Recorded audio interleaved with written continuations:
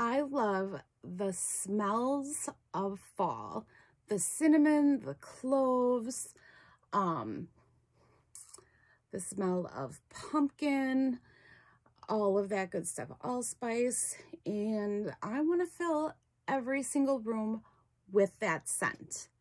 It's amazing. I love it. It's my most favoriteest part of, of fall is just smelling all the smells. So you can have that in your home at any time with this um, fall potpourri spice mix jar.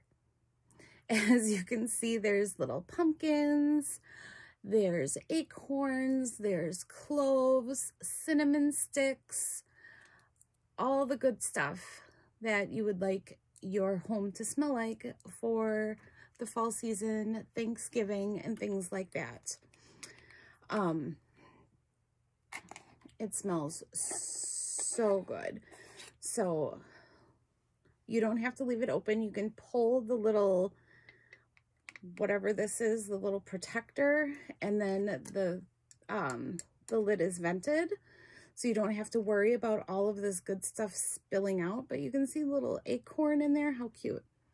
And it smells so good.